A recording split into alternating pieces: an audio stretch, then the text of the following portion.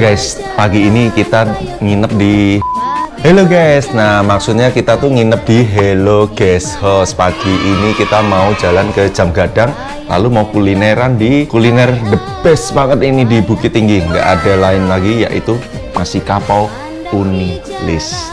Oh iya, ini Hello Guest House ini juga nyaman banget ya. Tuh, lihat tempatnya Wow, ada teman saya yang soleha tempatnya bagus nih guys.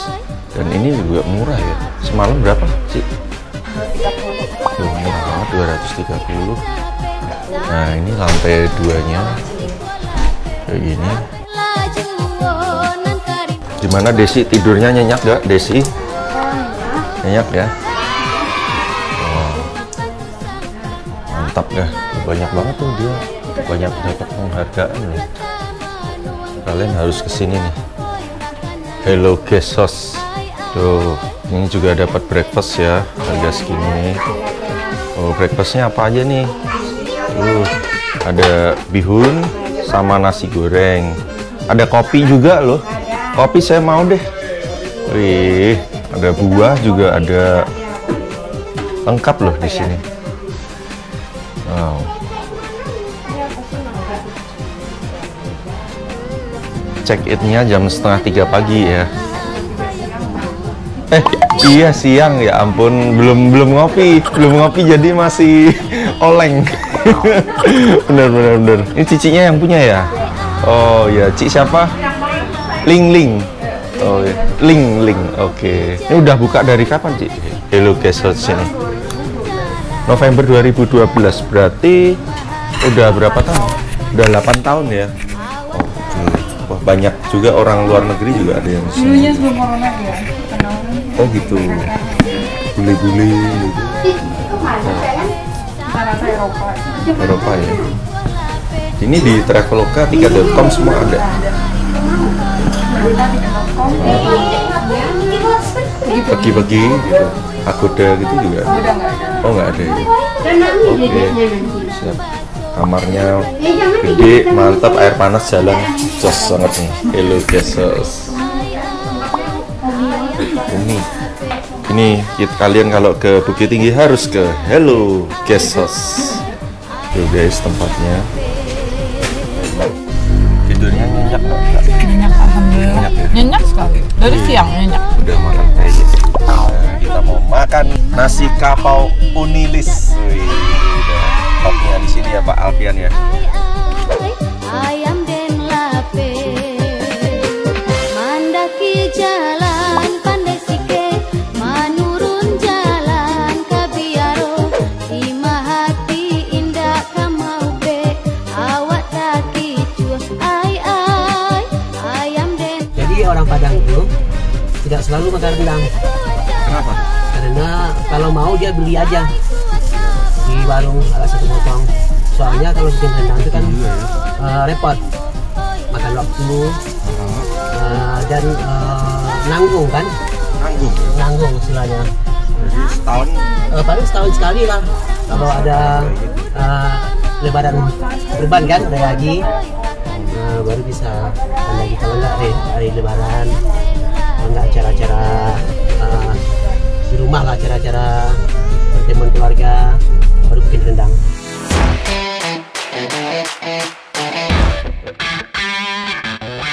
Oke guys, kita udah sampai di pasar eh, pasar apa nih, Des? Pasar pasar atas. Ya, ini dia. Halo. Tuh guys, posisinya di dalam pasar sini. Hah? Oleh-oleh. Ci, ini beli snack-snack. Di sini jual banyak oleh-oleh juga guys. Kalau kalian mau oleh-oleh. Kakak Desi. Buat kalian beli oleh-oleh datang sini. Banyak banget ya. Ya kak, di mana kak biasanya kalau beli oleh-oleh? Belut nih. Oh, ini kesukaan lu nih ya? Wah, belut nih keren. Buat hiasan juga boleh nih. Halo bu.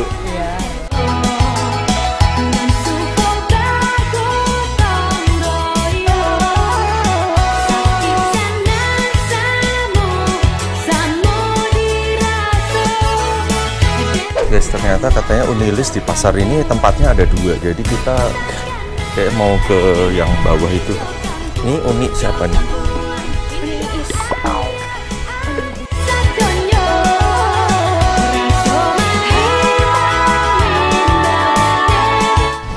Nah, di sini nih.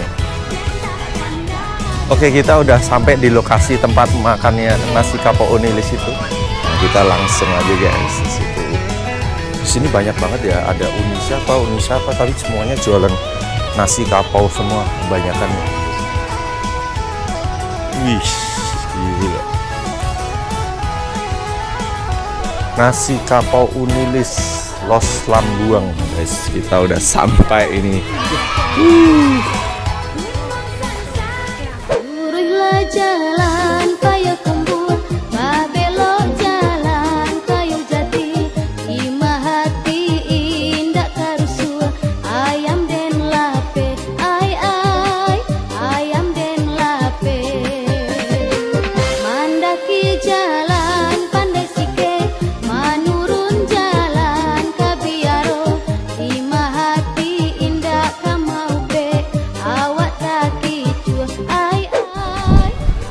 Nah guys ini ada tempat nasi kapau Next Karo sama Rick SNT pernah ke sini tuh Ini apa aja Bu?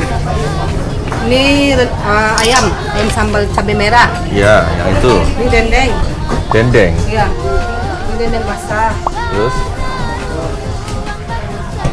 Ini usul, usul. tambusu boleh tambusu Yang ini apa Bu? Yang ini rendang ayam. Rendang ayam Iya. Itu Ini dendeng kering. dendeng kering ya Kering.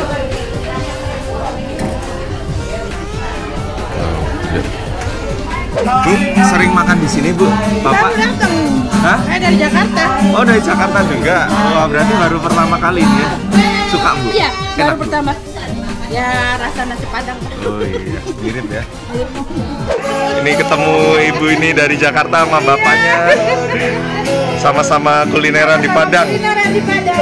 Iya, itu apa itu bu? Kerupuk rambak ya, kulit. Kerupuk rambak ya? Sapi ya, enak bu. Oke, nanti kita beli. Dikasih rambak segala nih kerupuk rambak sama ibunya. Makasih bu. Pada baru kenal ibu siapa? Bu Eni. Eni. Iya. Makasih Bu Eni.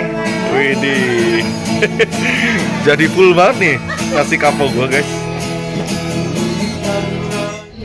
Oke guys, sekarang udah siap makanannya. Waduh, ini nasi kapau unilis khas Bukit Tinggi guys, Padang. Jadi kalian kalau Padang harus banget nih makan nasi kapau. Dan ini yang paling terkenal yaitu unilis. Ini guys. Jadi kalau tadi pesen yang biasanya jarang ada itu adalah ini guys, gulai tambusu. Nah, gulai tambusu itu dari usus, terus dia dalamnya ada eh, tahu sama telurnya gitu kayak gini. Unik banget guys. Terus juga isinya juga ada kentang, terus juga ada sayur-sayuran, juga ada daging gini. Guys. Kayak dendeng gitu kebetulan juga ada sayur-sayurnya sambelnya sambal merah cabai merah cabai hijau terus daun nangka dan berbagai macam itu. Oh ini juga ada serundengnya guys. Serundeng mantap guys. Kita langsung makan aja. Dan kalau yang ini rambaknya tadi dikasih sama ibu yang makan di situ tadi. Suruh cobain katanya. Kita coba ini dulu. Hmm. enak dan masih crispy banget. Mantap juga. Hmm. kita langsung makan aja guys menu utamanya yaitu gulai tambusu kita makan dulu side dishnya yang lain. Mamam guys. Tuh.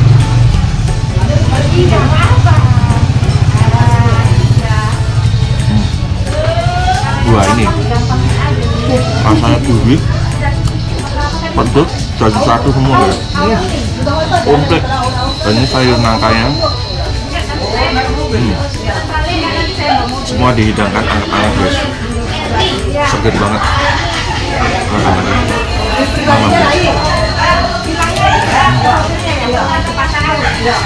mantap gua kalau bahasa sini bilangnya lamak benar tuh lamak benar Bedanya sama nasi padang apa bu? Ah, beda as ya. Apa? Kapal si Padang as. Nggak ada beda. Sebenarnya nggak ada bedanya. Oh gitu. Jadi kapo tuh nama daerah ya? Iya. Oh jadi bedanya kalau nasi padang sama nasi kapo tuh padang tuh nama daerah, kapo juga nama daerah. Jadi mereka bikin kulinernya sendiri-sendiri gitu guys. Pantesan ini rendang jadi makanan terenak. Emang Sumatera Barat tuh surganya kuliner. Hmm, mamam guys. Kalau kalian ke Padang, kalian ke kota Padangnya harus ke Bukit Tinggi ini. Ini apa bu? Itu jengkol. Jengkol. Iya, jengkol sambal. Ini kedua kalinya aku makan jengkol. Kemarinan juga di Padang baru pertama kali ini kedua guys. Mantap. Kalau suka pete harus suka jengkol juga ya. Iya. Mamam guys. Mantap.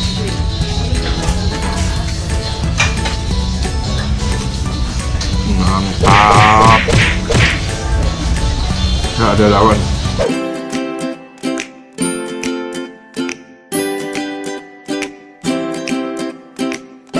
Oke Bu, saatnya bayar Bu. Jadi berapa? Kamu masih nggak ada ya? Masih nggak? Nggak tambah. 28. 28 ya? Bukanya dari jam berapa? Tadi jam jam setengah sepuluh lah. Sampai jam? Jam enam sore. Oke oke. Orang baru direkrut silakan.